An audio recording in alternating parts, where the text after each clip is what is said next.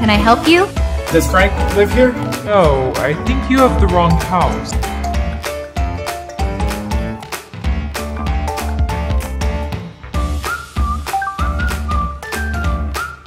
Hey, what are you doing here, man?